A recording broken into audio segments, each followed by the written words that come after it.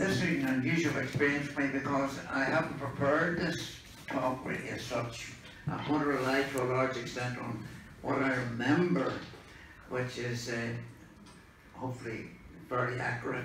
Uh, uh, normally when I have to give a talk to society, I would have researched it and looked for every little uh, bit of information I could get and put it in order and, and so forth. I've mulled over this several times and apart from looking at the minute books, I uh, really rely to a large extent on what I remember. so I'll start off by talking about one of my favourite topics, which is me. Um, Gonna stand up, Frank. See you better. stand up. See you better if you stand up. This is unprecedented, Barbara. um, well, I've always been interested in local history. It seems to me that I caught some sort of a virus as a child, and uh, it has uh, never left me because in my early teens I was uh, fascinated by local things, and when I came back home to the local school here, I was constantly in conversations. Sorry, Robert, am I in the right? Oh, no, just want to get you a glass of water. Do you want a glass of water? Do you want a glass of water? No, I'm okay. Are you okay? Well, I might not before all's done, but I intend to be out of here by 11. Anyway, um, anyway, I was always interested. When I came to teach here in, in, at home, I was constantly in conversations with Griff Wiley, Mickey Waddle, and others about the possibility and how nice it would be to start a local history society. We talked about it and talked about it. Griffey talked to John uh, uh, McSherry, Four Towns, Lewis Smart, and various other associates of his, and uh, all were interested in local history society, but didn't do anything about it. Then in 1968, and I think that was an important date, uh, Owen Park was the new houses were built, and Michael Anderson came to live in one of those houses. And Michael joined this discussion group.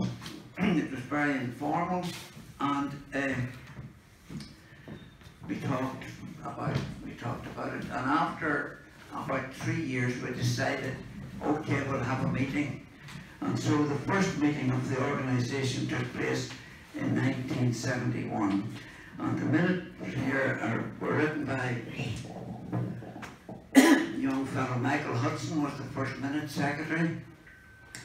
And uh, he says that the, in, the inaugural meeting of Poyntzpass uh, District Local History Society took place on Monday the 31st of May 1971 in the billiard hall at Church Street, Poyntzpass.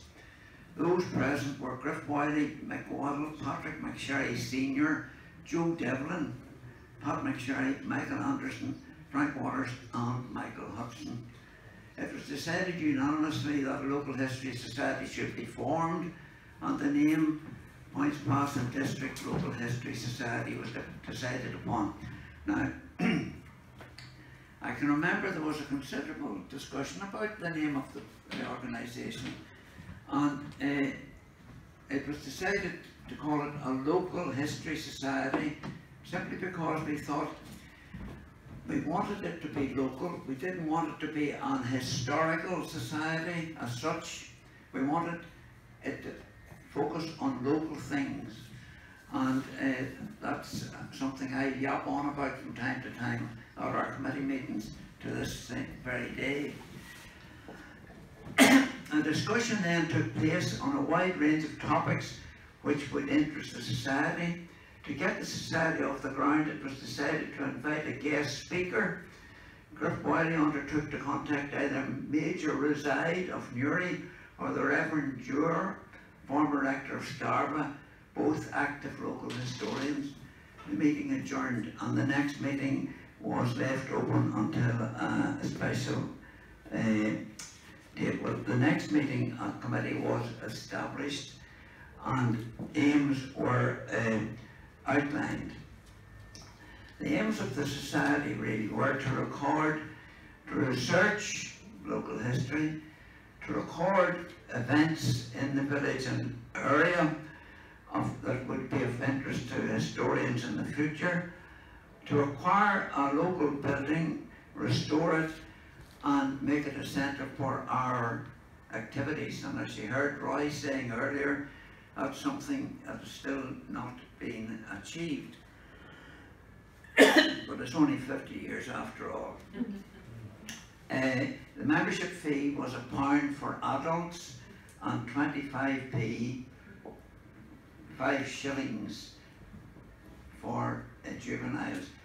Interesting that the, the, the, juvenile fee is put in both uh, decimal currency and sterling or imperial currency. The 5 shillings down as well because that was the era when we were still getting used to uh, this new money.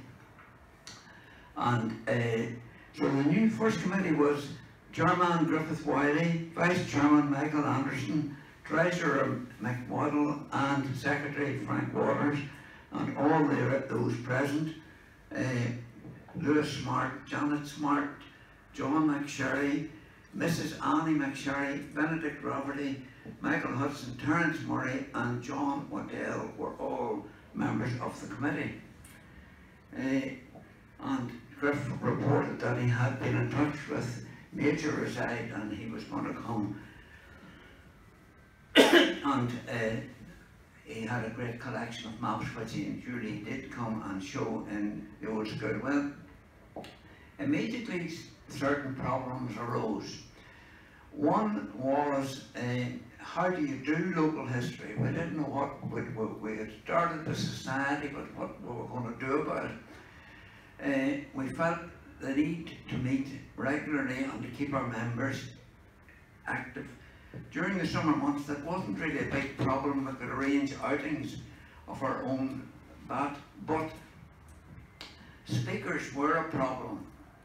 I was the secretary and uh, it's, well, it's worth bearing in mind that 50 years ago communications were very, very poor by today's standard. The, the, and where I lived, there were uh,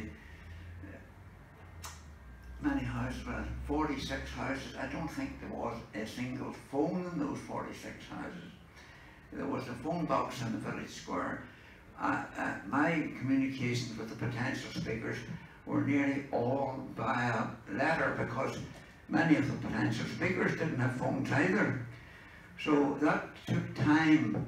It was quite a burden as a secretary to do that. Eventually I got in touch with a, a person that I'd met at Queen's University, a man called Grenville Morton. And I outlined our problems to Grenville Morton. He was head of the extramural department at Queen's. And the extramural department is a kind of an outreach uh, arm of the university to go out into the community. So Granville Morton undertook to organise a, a, series of talks, a season of talks as he would call it, running from September uh, 20, oh no, 20, 1972 I think it was, to the April of the following year. That took a tremendous weight of uh, uh, off the shoulders of the secretary, I might say. and, in passing, I would say everything about technology, and uh, I, am now being beamed to the four corners of the world. Uh, by the way, excuse my appearance, a crown came off one of my teeth. so if I have an odd blow down, you know what happened. Uh, uh, I, I, prefer to wear my mask, but they wouldn't let me. But anyway, uh, technology has gone beyond beyond. I mean, uh, somewhere in the minutes it said that I had borrowed an overhead projector from school. Remember overhead projectors? And uh, uh, borrowed is probably a euphemism. But anyway, uh, the, the, we, we, one of the first things the society did was to buy a tape mm-hmm. recorder. Uh, it was a tape recorder, one of those reel-to-reels tape recorders, where you actually saw the tape. Completely antiquated antiquated now and never was a success. I do remember the first time we got it, it cost thirty-eight pounds and uh, it was a big, big expense mm-hmm. because the, the, the treasurer reported at the next meeting that there was six pounds and twenty-three pence in the kitty. Uh, but the first words spoken on that tape recorder, see does it work, were spoken by Lewis Smart. I remember that Lewis said, and that what he said was, uh, you know the way I was said, say something, somebody says something. Lewis said, Mary had a little lamb. she passed her plate for more. That was, that was what Lewis said. Anyway, to get back to the story, we got into a routine then of uh, uh, this at the state to the staff talks from September through to April and outings from May, June, July and August. Now my own involvement in the society had been total nearly for the first year and a half, but then I did the unpardonable thing. I left, went away, and uh, when I come home, my circumstances had changed, and I wasn't involved in the society for the next eight or nine years. And I was still interested in local history and still doing some research and still talking to the members, Griff and Mickey Wadden and Mickey Anderson, etc. And so I knew about the doings of it. But uh, during those years, and it's important to remember as well that those were extremely bad years in our country.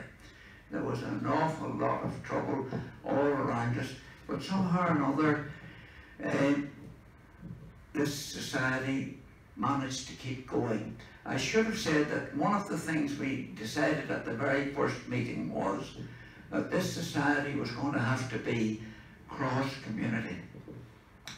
We didn't want a society that was one-sided or the other, and we all agreed that if it was going to be like that, we wouldn't be part of it. So from the beginning, we wanted it to be cross-community, and thankfully, it has remained so. And I think that during the, the worst times of the trouble, the Local History Society has been a, a sort of a, what would the word be, a sort of a, a stand out for the community to rally round. anyway, for the next 10 years approximately, Granville Morton did his business. He produced speakers from September right through.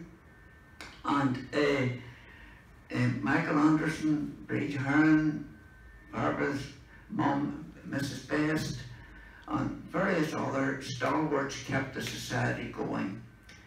And uh, around 1982 or 3, Granville Morton suggested that the society should try to get its own speakers. I think he had become exhausted getting speakers for the society. And mind you, some of the speakers who came here were really, really eminent people. Uh, as you have noted already, this is disjointed. Anyway, another problem that we, we faced in the early days was finding what we would call a neutral venue, somewhere where everybody could meet comfortably and happily. We attempted to locate several houses around the village which were empty, but one way and another they just couldn't be made available or weren't suitable or whatever, or in such a bad state of repair that we couldn't use them. Eventually Griff Wiley suggested that above his VG store in Railway Street there were rooms which had belonged to his grandfather, Eddie Griffith, and that we could have the use of those rooms if we could get access to them. Now, access to those rooms initially was through a stairs at the back of the shop, and so to make the room uh, accessible, the stairs had to be removed from where they were and um, reinstated at the back of the building.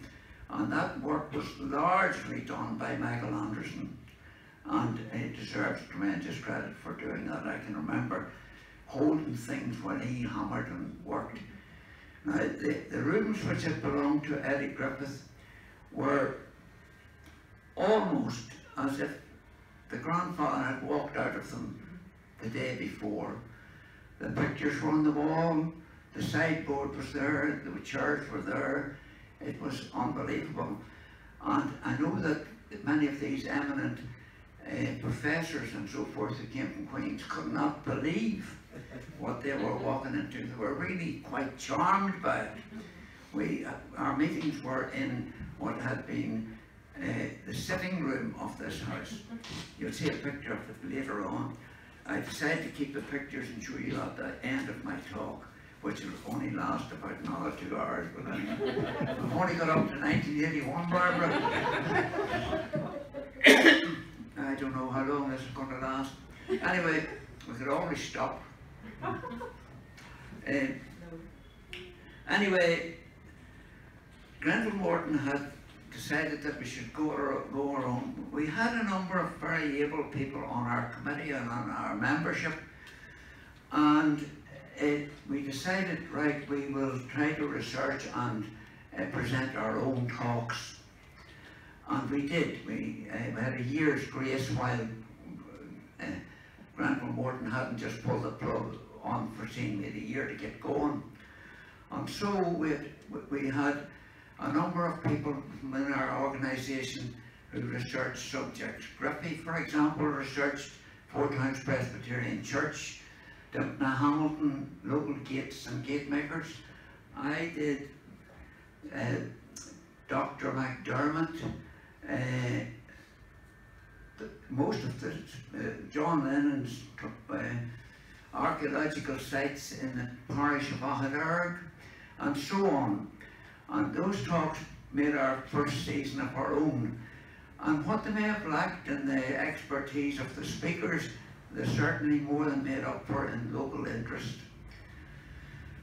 Now, in due course, when those talks uh, were all finished and we were on to the next season of talks, the, the question arose as how we would preserve these, these talks and, or how some of them we felt deserved to be made known to a wider public. And so the suggestion was that we would uh, produce our own journal or magazine. And for many of our members that was a huge step because we started talking about a thousand pounds and uh, as I said it was six pounds 23 and the guinea wasn't really very auspicious. Anyway, Knew from a wee bit of experience producing a journal that it's actually, if you go about it right, and have advertising, you can actually have your magazine paid for before you get it printed. And while we didn't quite go that far, we had a large part of the, the cost of our first magazine in the kitty before we went to the printer at all. Uh, I, one of the problems with going to a printer to produce a new journal magazine is you go into a printer and say, what will it cost to produce a local history society magazine?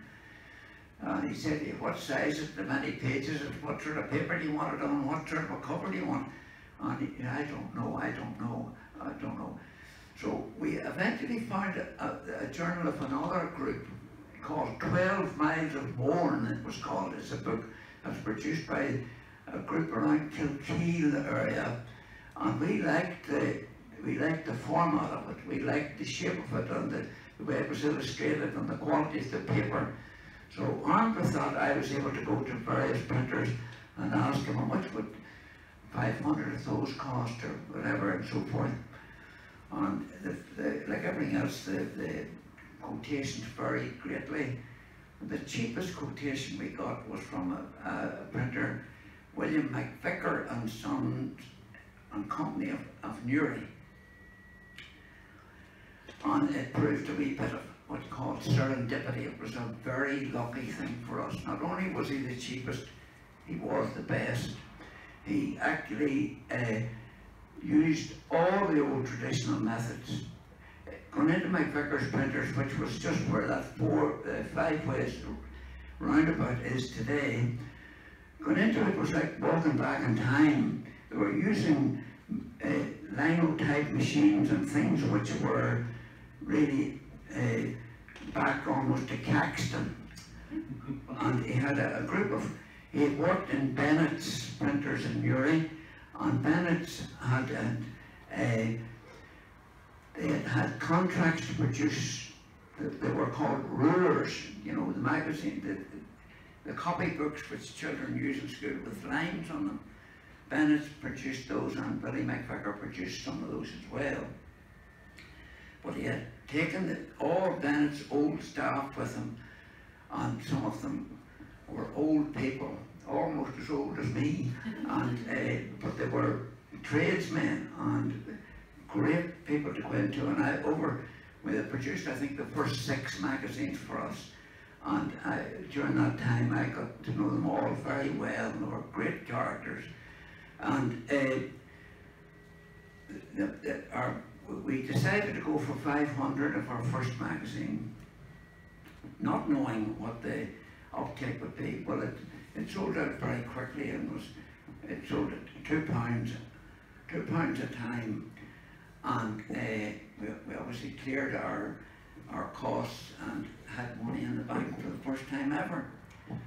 And that, again, the, this series of talks by local people which provided text for articles for our magazine, that became our format.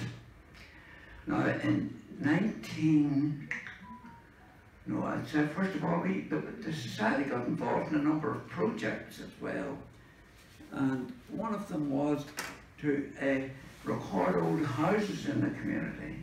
And so we sent out people with uh, uh, cameras to take, take pictures of uh, these old houses which were crumbling, no longer occupied and crumbling away. We did that and have a fine resource of those in our uh, in our room up in the credit union. Unfortunately, they're not as available to people to look at as uh, you, you'd like. You can't really, unfortunately, let people go in, but you could never have done, but you couldn't now anyway. And because people, some people would I'm not say steal, but borrow photographs out of them if they're not watched. And while they might intend to bring them back, and very often that they don't, because in our albums there are missing photographs. Now, uh, let me see. Uh, that was one project that we got involved with. In the early years of uh, 20, the 20th century, no, the 21st century, this is the 21st century, we got involved with an organization called JSTOR. JSTOR, we got communication from Queen's University to say that this re representative of this American JSTOR was going to be at the university and that they were going to set up a, a resource for the study of Irish history and they wanted to include in it access to learned journals. And that really ticked all the boxes for us. We couldn't believe. They were talking about our magazine as a learned journal. Uh, the fact that it was Queen's was kind of promoting this gave us a wee bit of confidence and so John Campbell and myself went to Queen's and we met a young lady who was a representative of JSTOR JSTOR, I don't know what the JSTOR stands for, but it is an offshoot of Harvard University. And they had this uh, idea to approach society such as ours, ask us for the, uh, the copyright, for want of a better word, to our magazines as we produce them, and to make them available to scholars worldwide for a fee. And at the end of the time, there would, uh, as he said, there'll be a small income from it for you.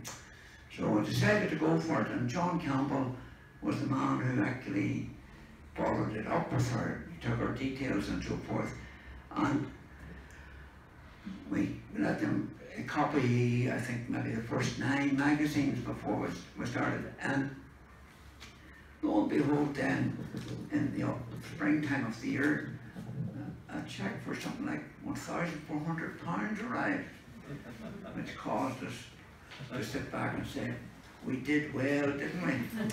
So that has happened over the years. And the sale of the magazine and the income from JSTOR, which is a direct result of the magazine, has left our society on a fairly sound financial footing. In 1997, we, we had a project called A Portrait of Our Community, and we uh, set out a number of people with cameras around the doors, knocking at people's doors. Would you mind standing out to get a photograph of you and your family? And many people did, but some unfortunately did not. And looking back on that, quite a fascinating thing to see all those who are no longer here. Uh, we repeated it in 2007 and again in 2017. I think there might be a case for doing it every five years as opposed to every 10 years, but uh, that's something to be discussed. Uh, as I say, the, the, the technology nowadays makes certain things very much easier. Uh, one of the projects that we was uh, again talked about at the very early stages was to build up a library of books of local interest. And uh, we did that we have a, a really good library, many were quite rare books in our library. But the problem with our library is access to our library. And no, we have never been able to actually make our library available to our members in the way we envisaged. Lending them out to people is quite chancy. In fact, several very valuable books have gone completely missing because nobody knows who borrowed them. They were never left back. And uh, we have got a library of, I suppose, several hundred books, some of them quite rare, and it's one of the things for the future we should consider. I think as a reference library rather than as a lending library, uh, that we would come up with some way in which we would have a, a, a time or two in the week or the month or whatever when people could come in and uh, look at uh, or, or study these, these uh, books. I just want to look and see.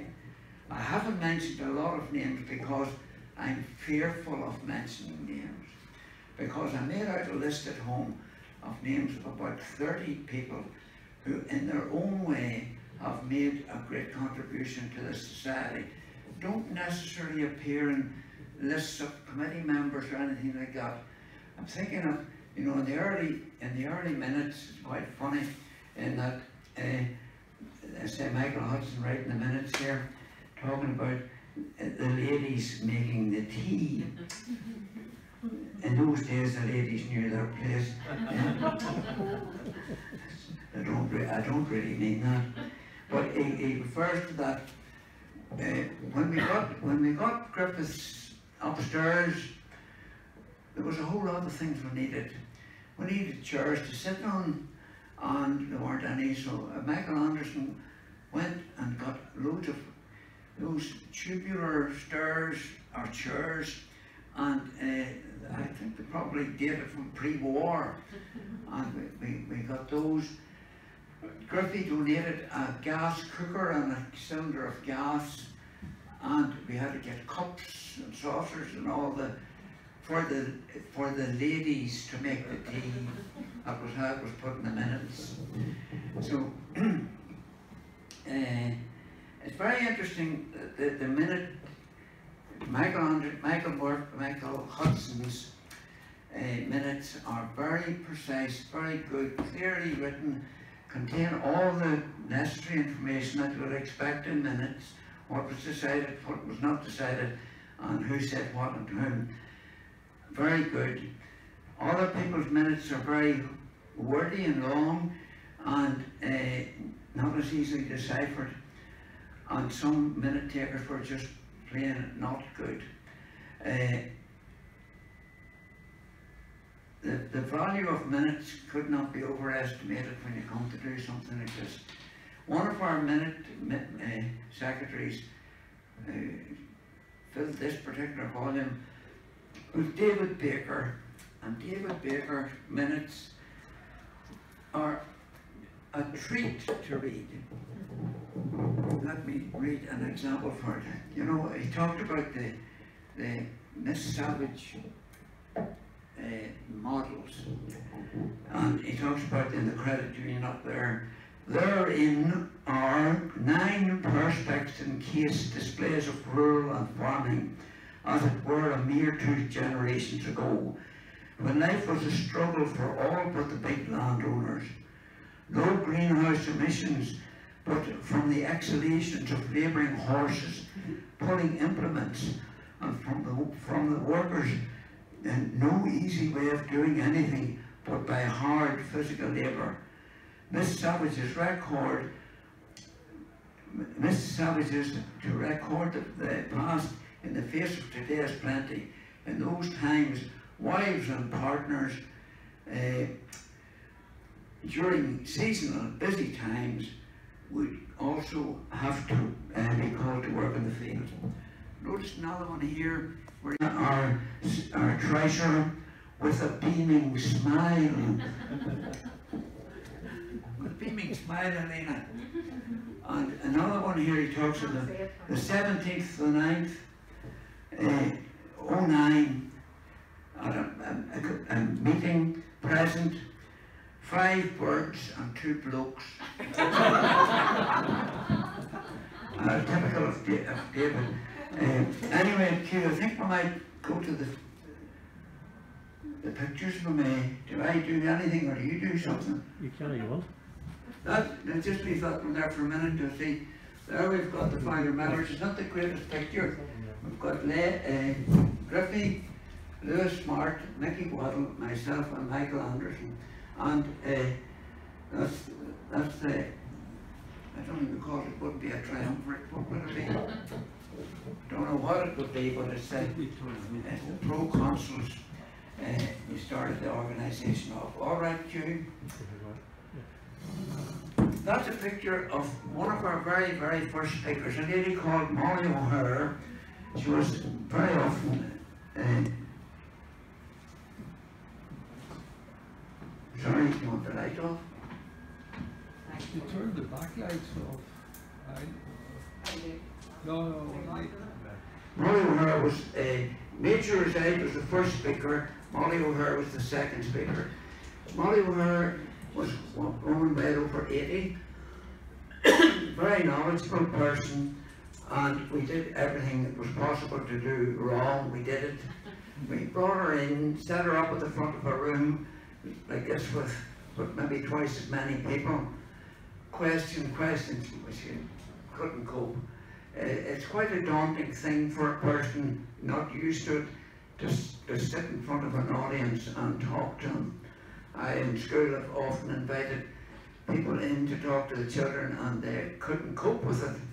And it's, it's, it's, it's, it's quite a daunting experience, right, Q? Now, there's a picture of James Loy. I don't know why James Loy, but very, very faithful member in the early days. But his name comes up regularly in our discussions. Barbara and I would discuss regularly when we're working on our magazine, as Helena will tell you. We will not put anything in the magazine that James Loy couldn't read. And it would just be, we were, we were aiming to make the magazine a very accessible one. Not uh, in any way playing it down the historical content, but um, we didn't want to have to, anybody to have to have a dictionary at their elbow to see what is this all about. So the, the language in our uh, our magazine was aimed at people like James Loy who could sit down at their fireside on a winter's night and have a good read. Okay? Go ahead, Q. Now there's a picture of the upper room, as we call it, in Griffey's. And you see the, the, the plaster fallen off the ceiling. And uh, that's, that's not the room we met in. You went through that room to get to the room we met in, right? There's Griff and Betty. Uh, and inseparable. Always think Betty and Griff, it sounds like a nineteen sixty duo. And I think it was a Mickey and Griff, wasn't there? Yeah. Way Yeah. back then, singers. Anyway, next cube, there we are in the, in that room, and you see that the pictures remain on the wall, the shade remains on the lamp, and there- if you could see, there's, there's furniture there now. Unfortunately, I'm in the very front of that, it wasn't intended by me to be that way, but the ladies sitting in that front row are uh, Betty Wiley, Anne Campbell, Mrs. Smith, Alice O'Hare, and on the extreme right, the Reverend Noel. Right behind him is Andrew Holliday. I can't tell who's the person. Terry Murray. Terry Murray, a, a, a, a, a grey-haired lady leaning forward there, and I can't say who she is. Right behind my head is John Lennon, just the top of his head. Then there's Billy Hearn, indispensable, he did so much for the society. And Harry O'Hare, Harry O'Hare was chairman of the society, very enthusiastic member of our society during that period of time that uh, kept up the historical study going. Several lectures by him to our members over the years. Next then is Seamus Savage, and on the back wall there's John Joe Sams. He looks to be a dark glasses on. And then beside him is Mick Wadham. On the left there, who are those? Oh, that's our Neil O'Loughlin right in the corner. Charlie Donald? And Charlie Donald is right. Yes, Charlie Donald. And is there someone there behind Charlie? Who is that? I don't know. is. Something I wanted to say. When we were, when we decided to, to, to produce a magazine, there was a huge debate and a, and a, a, gathering simple. I thought, what are we going to call this magazine? And there were all kinds of fanciful names were come up with. But we wanted something that was, again, let's come back to James Loy, something that was not off-putting. Things like reflections or the far past or whatever, we didn't, we, and it was Arneel O'Loughlin, the lady at the very back underneath the round thing on the wall, who suggested, before I forget, I think she actually suggested, oh, and before I forget, which might have been better still. We wanted just an everyday phrase that people could identify with, and that's where the name came from. At some stage, we must have had a, debate about, it- about it, and uh, I must have related to a committee meeting that, and I'm after telling you that the name was suggested by Arneel O'Loughlin. Uh, David Baker was taking the minutes, and obviously he didn't hear it quite clearly, because in the minutes it says that the name, before I forget, was suggested by Neil O'Roughlin. Anyway, next cue please. That is uh, a cousin of Griffey Wiley's outside Griffey's shop. To, to get access to the upstairs there, you had to go up the entry with the, the big door, big gate behind that man's back, okay? And there are the ladies who made the tea. Annie McSherry and Maura Canavan, uh, who made the tea, a delicious tea. So we thank them very much in their absence. A very indispensable part of it because a cup of tea after our meetings, which I'm sadly missing tonight, uh, was often a time for a great bit of chat between our, um, our members. We miss that for the time being, but however. Next, cue please. There's another group, and that's not in, uh, uh, where is that taken? It's an unwriting, yes it is indeed, it probably says on my list.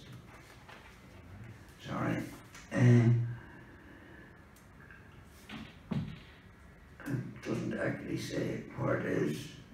uh, But Jim Stewart is there again. Jim was a very keen photographer, made a tremendous contribution, served on the committee very willing, always very willing person, and uh, uh, you couldn't couldn't praise him enough. Go ahead, Q. Uh, Mickey Waddle posing that contra moment uh, at the fire somewhere or other. Mickey generally liked to pose. Go ahead. And this is Mickey. We went on an outing to Strokestown and we come back and we stopped in a, a restaurant somewhere along the way. But someone had informed the restaurant that it was Mickey's 80th birthday. And that is uh, what's hap- taking place there. Who are they? Gimpy. But, yeah. Is it that big? Yeah. And who's the other person? I don't know. Anyway. eh,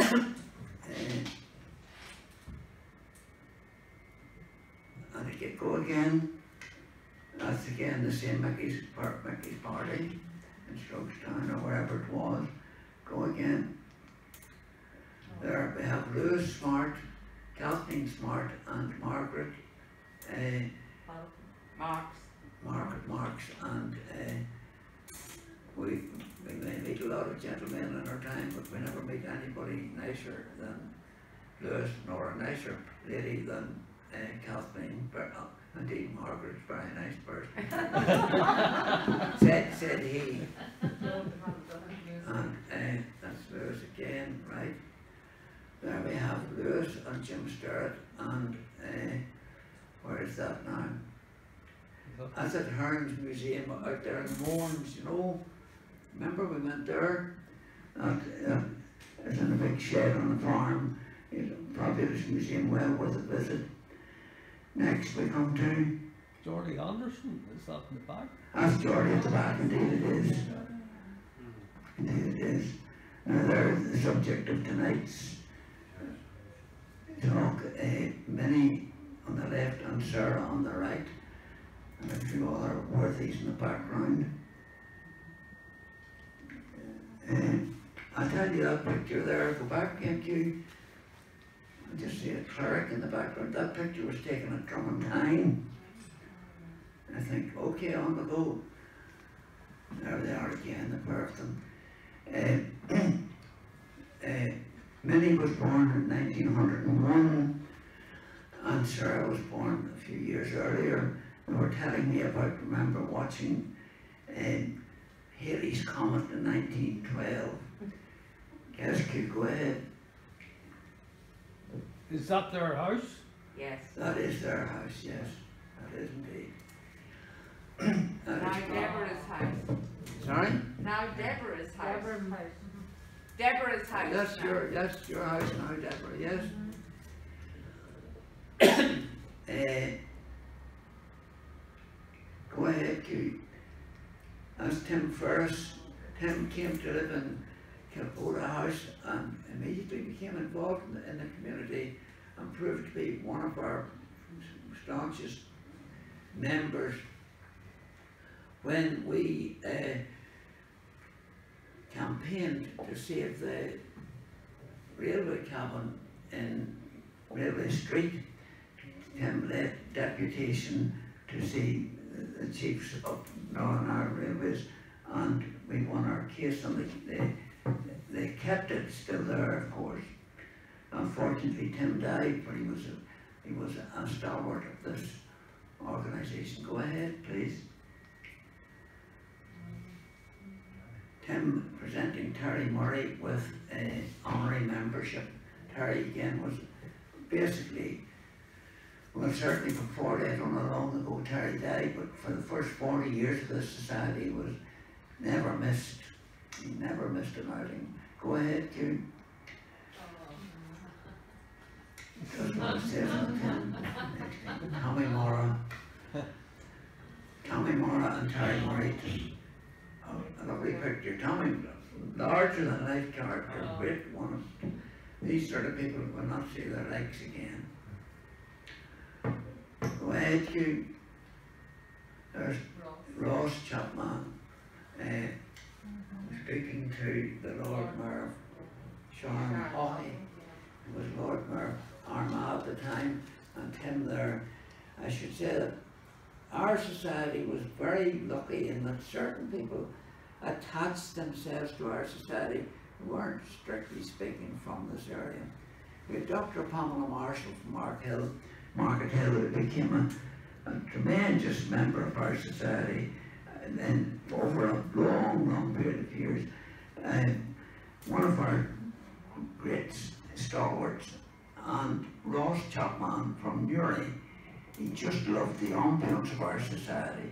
He, he, he hated the formality of the old Newry society, but he loved the informality and the crack and the company of this society, and he added tremendously to it himself.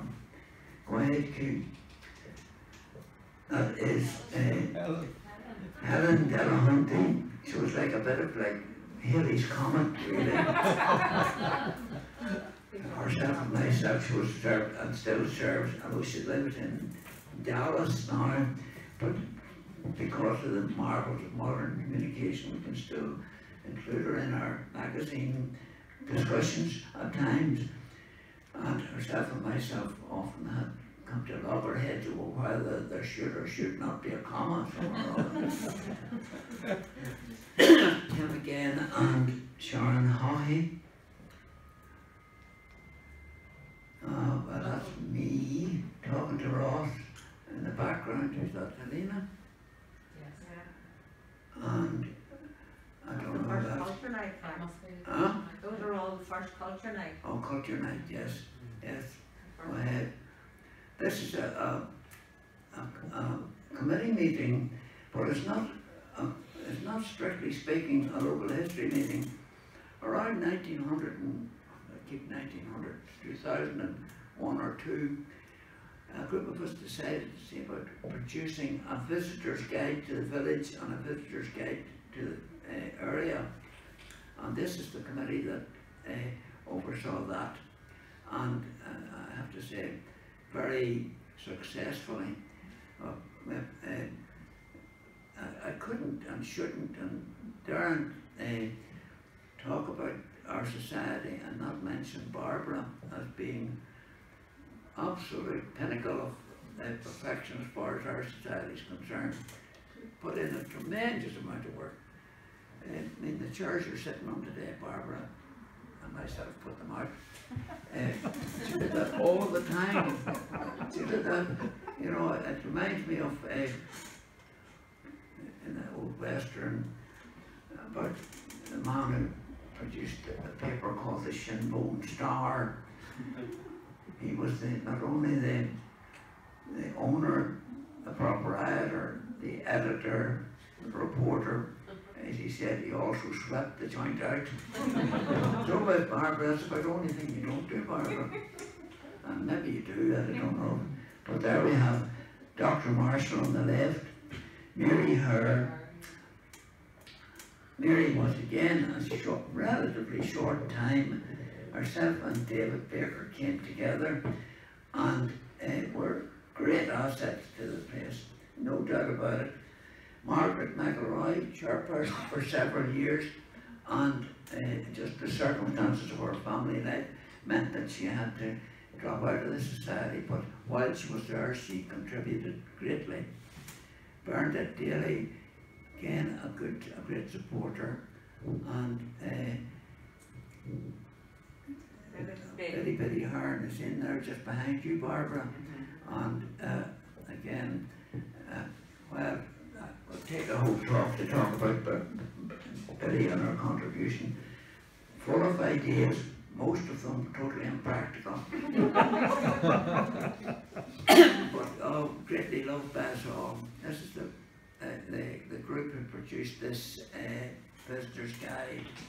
See there, Joe Devlin at the back, myself, Francis Savage and Terry Murray, and then along the front, Mary Hare, David Baker, uh, Barbara and Margaret McElroy of a very good little committee. We really had a very good time together. Okay. David Baker, as I said, I read some of his minutes there. David never, uh, he never went for a small word for a big one would do, or two big ones. he talked about such a thing as a gargantuan task.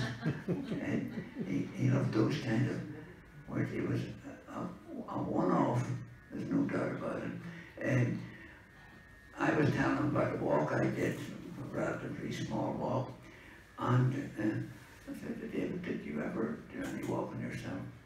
Oh, I did, I did. Did a bit of walking. I said, where did you walk to?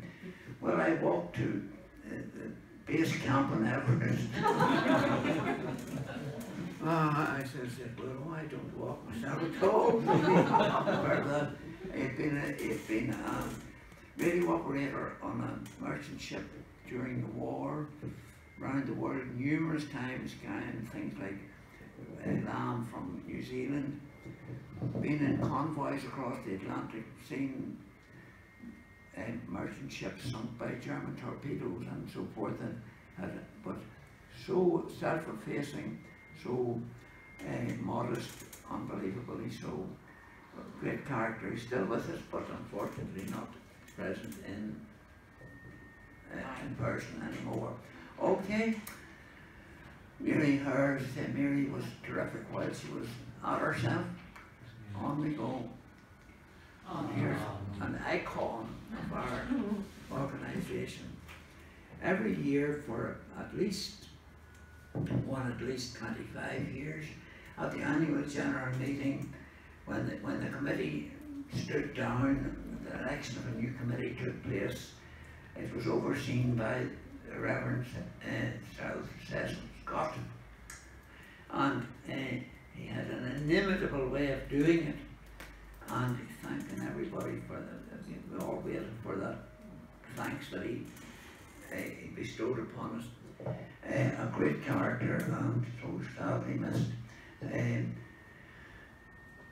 awful modest man, really genuine man, sincere, one of the few Christians I've ever met, okay? And another individual, Jimmy Clulo from the Salon, uh, again, uh, as Ross Chapman of Jimmy Clulo said, he started off talking about wills and the talk he gave to the society and ended it by singing by the bright silvery light of the moon. How it came to that Ross couldn't work out. On, on the go. There's a magazine committee, launched a magazine, don't know which number that is. 1990, probably about number five or six or seven, something like that. Uh, there's John, Mickey Waddle, myself, Andrew Holiday, and other stalwart of our organisation. Griffey, Charlie Domlin, who was chairman that year, uh, Pity, and who's the one that left? Griff, Griff. On we go. Another picture, I think of the same, same group. And that is Ross and Robina Chapman. Ross and his wife Robina are, uh, again, we're always delighted to see Robina. Right, on we go. This is a group outing. Um, um, uh, I'm not sure exactly where that is. I've lost track of my. Uh, a Boyne, to the Boyne Valley, and you probably can pick out a few clients in that picture. Uh, I have a rather small group. I can see Billy Hearn there, and I can see Sheila Murphy. The wall. Anyway, see Mary Hare. Anyway, on the go, another picture of the same. Pity we weren't a wee bit closer to them. That picture there is taken at Peatlands. You can see the, the uh, uh, engine that's there. Next one, there's the parking fee for the Giant's Causeway. Outing, 1989, five mast. Yes, points past historical. That's all wrong. Anyway, uh, the next one is at Creggan. Uh, that's down in South. An old, old graveyard there. Next one is Dev- Devenish Island. This is just a random selection. Next one, that one's taken us uh, an outing to Stormont.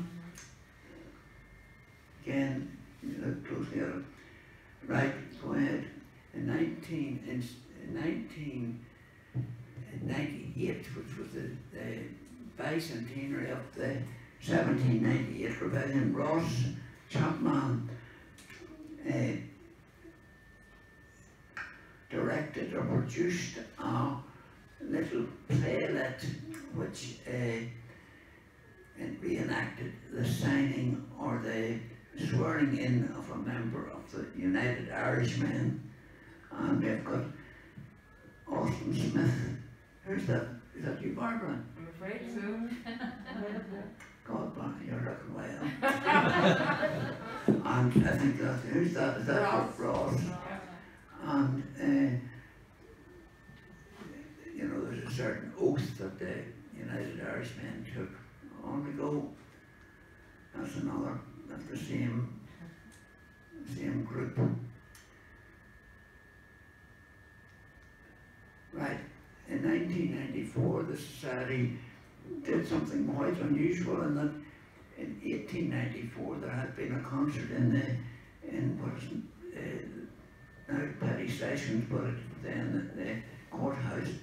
And uh, in nineteen ninety-four, our society attempted to restage the same concert with the same, um, not the same people, of course, but the same, the same program. And uh, we all dressed up in what we took to be period dress. Okay, on go. There we are. And there is Andrew Holiday, Barbara, John Campbell, myself, Dr. Marshall, and Michael Anderson, as, as we used to be. And he's a, a local icon again the village, uh, a slightly eccentric lady, Mary McGill, sadly gone, part of the part of the corner locally. Go ahead, Kim. There's another one of Mary Moore, Moore in her Sunday best. On the go. Now this is uh, an individual of all we're very proud. Um, Dean William Morton, who's the Dean of Christ Church Cathedral in Dublin, uh, following in the footsteps of Jonathan Swift. Uh, and that's his aunt Aggie Whiteside and I'm not sure exactly what relationship, if any, there is to Alfie Donald, but Alfie would be in the same uh, neck of the woods. Uh, Dean William came and spoke to us, and he also hosted a meeting for us when we went to, visit St. Columb's Cathedral in Derry. On the go queue. That's just a group of locals. We have a, in our rooms up there, we have a tremendous collection nowadays of photographs. That's Tommy McVeigh, uh, Tommy McSherry, Jim Lennon, Terry Murray, McGribbon, Tom Burns and Pat Campbell. Is any of them living? No, they're all gone, unfortunately, a whole lot of them. Right? Uh, this is a picture of George Pass, uh, George Porter, and uh, let's see who it is. It's not. It's not his wife. Mm, Mabel, the sister? George Porter and his sister Mabel at George Pass Post Office. Don't who the girl is or the person at the door. Gillian Ferris. Huh? Probably Gillian. Gillian Ferris. Gillian Ferris. Right, could well be.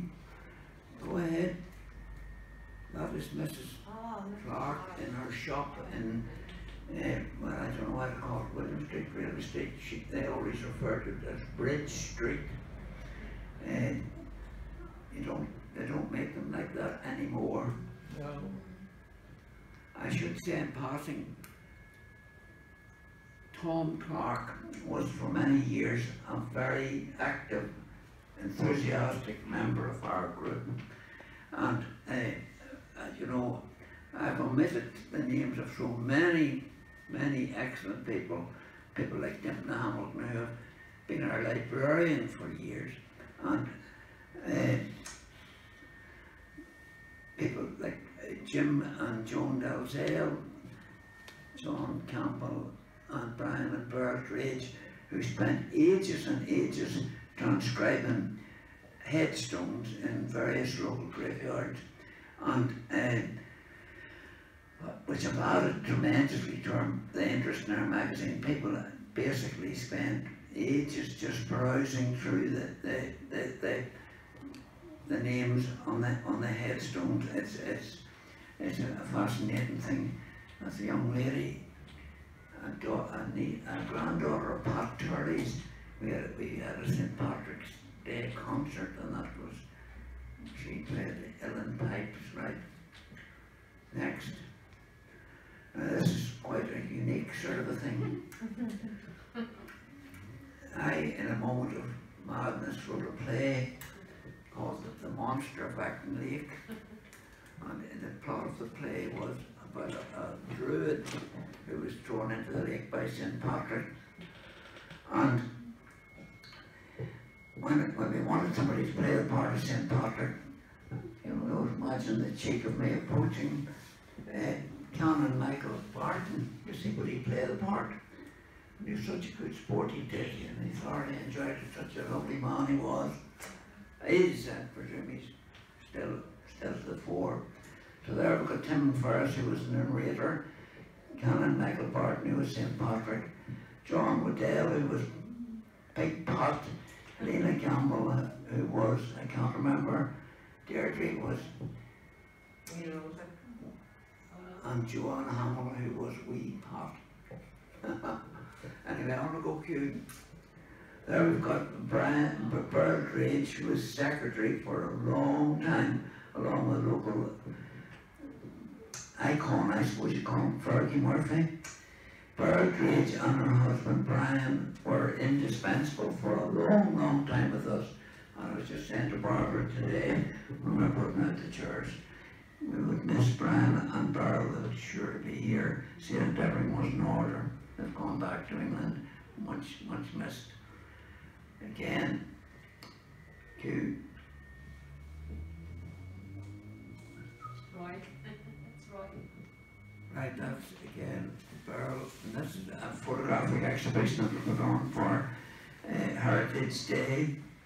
Some of our photographs just mounted on boards for people to see. Next, please. And there's Brian and Beryl, they were presented by the Wednesday Club with a, a, a composite picture of the village and areas around the village. That was earlier this year, before they left. And finally, go ahead. And find there's a picture taken by Jim Starrett of a lady called Pearlie Hannah, who lived in a house just up the up the Market Hill Road. And uh, I think it almost uh, uh, epitomizes an, an age that is gone. And that house, nothing really had changed in it. The fan bellows, the, the, the open fire, and the crook and the crane were there as well. So I say, that's part of the 1997 picture of the community. Of course, you needn't go back because apparently, unfortunately, is no longer with us. So I, I ended that to say, I don't know where or how you would rate our performance over 50 years, whether we uh, have achieved anything or much or left any legacy behind us at all, how far we have achieved our aims. Uh, it, our people say you have a tremendously strong society. Now, a society, I suppose, is, uh, you're trying to tell me something, Hugh? Light, uh, the, the, um, the society still depends on a relatively small number of people. And uh, in order for our society to flourish it depends on people making a commitment. And it would be easy to go back to the, the time of, I don't know, Qu- Queen's Extramural Department still uh, provide that service or not. But what had happened to our society during those years when Queen's were uh, providing this wonderful service for us, we had gone from being a local history society to being an historical society. and uh, our main source of income is our magazine. Our magazine can only be produced if there's if there is material to fill it. And the material has got to be generated by our own members and it has to be on topics which are local. Uh, and so I, anybody here present or out there in the crowd, wherever you are, uh, if you have a subject you'd like to research, researching today is infinitely easier than it was uh, 50 years ago. You can do all your research from your own living room. You've got the census online, you've got Irish genealogy online, we've got the British newspaper archives, hundreds of newspapers that can be accessed, various other things as well. So if you've got a topic that you're interested in, basically, if it has a local connection, then why not consider giving a talk to the society? And in due course, it may well make it into our magazine. Uh, I think that's all, folks, as they say at the end of Looney Tunes. Thank you very much.